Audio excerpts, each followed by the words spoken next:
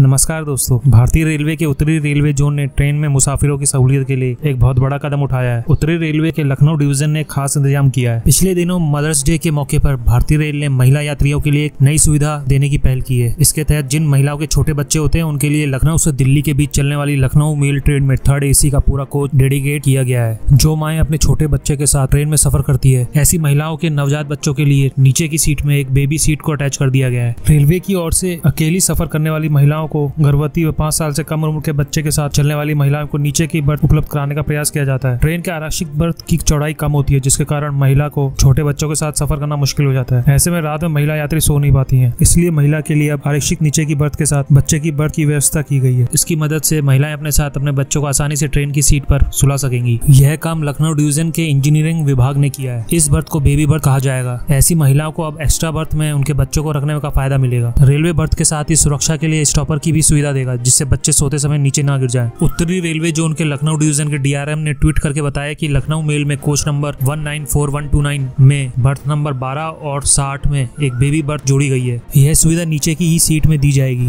इस सीट का इस्तेमाल करना भी बहुत आसान होगा। जब बेबी बर्थ के इस्तेमाल की ज़रूरत नहीं होगी तब इसे आसानी से फोल्ड किया जा सकेगा। इसके बाद ये नॉर्मल सीट की तरह बन जाएगी। जब बेबी बर्थ की ज़रूरत होती है तो फिर से उसे नीचे से सीधा करके बहुत ही आसानी से इसका इस्तेमाल किया जा सकेगा। बेबी बर्थ पूरी तरह से सुरक्षित बने रहे इसके लिए रेलवे ने एक स्लाइडर लॉक भी दिया है। अगर किसी महिला को ये बेबी सीट चाहिए तो रिजर्वेशन कराते समय उन्हें रिजर्वेशन फॉर्म में इस सुविधा की आवश्यकता को मेंशन करना पड़ेगा। इसके बाद उपलब्धता के आधार पर ये सीट आपको मिल जाएगी। अभी ये सिर्फ़ ट्रायल बेस पे किया जा रहा है, जिसमें सिर्फ़ एक कोच में लगाया गया है। फीडबैक आने के बाद आगे की तैयारी की जाएगी। एक रेलवे अधिकारी ने बताया की अभी ये सॉफ्टवेयर अपलोड नहीं किया गया है। इस सीट की जानकारी अभी सिर्फ़ टीटी के पास होगी, जिसको बात करके शिफ्ट किया जा सकता है। उत्तर प्रदेश के रेल यात्रियों के लिए एक और खुशखबरी है। तीन साल से ग्रीन सिग्नल का इंतज़ार कर रही लखनऊ से दिल्ली के लिए डबल डेकर ट्रेन दोबारा से चालू हो गई है, जो कि कोरोना की वजह से बंद हो गई यह ट्रेन लखनऊ से आनंद विहार टर्मिनल के बीच में चलती है। रेलवे बोर्ड ने कहा है कि यह ट्रेन लखनऊ से वाया मुरादाबाद होते हुए दिल्ली के आनंद विहार तक हफ़्ते में चार दिन चलेगी। इस डबल डेकर एसी ट्रेन के शुरू होने से गर्मी में लखनऊ से आनंद विहार तक का सफ़र करने वाले यात्री को राहत मिलेगी। Train number one two five eight three double decker train सप्ताह में चार दिन, मंगलवार, गुरुवार, शुक्रवार और रविवार को चलेगी। लखनऊ जंक्शन से ये डबल डेकर ट्रेन सुबह चार बज के पचपन बजे रवाना होगी, जो बरेली, मुरादाबाद, गाजियाबाद होते हुए बारह बज के पचपन मिनट पर आनंद विहार पहुंचेगी। वही ट्रेन संख्या one two five eight four, Anand Vihar terminal, Lucknow double decker train. मंगलवार, बृहस्पतिवार, शुक्रवार और रविवार को चलेगी, जो आनंद विहार टर्मिनल से दोपहर दो बज के पाँच मिनट पे चलेगी और रात को साढ़े दस बजे लखनऊ पहुंचेगी। इस ट्रेन के चेयर कार का किराया छह सौ पचपन रूपए होगा। इस ट्रेन का स्टॉपेज बरेली, मुरादाबाद और गाजियाबाद में भी निर्धारित किया गया है। ट्रेन में कुल मिला के आठ कोच होंगे, जिसमें एक डिब्बे में 120 यात्री सफ़र कर सकेंगे। इस ट्रेन के कोच में कंट्रोल डिस्चार्ज टॉयलेट सिस्टम होगा, जिससे की ट्रेन में स्टेशनों को साफ़ सुथरा रखने में मदद मिलेगी। इस डबल डेकर ट्रेन के डिब्बों की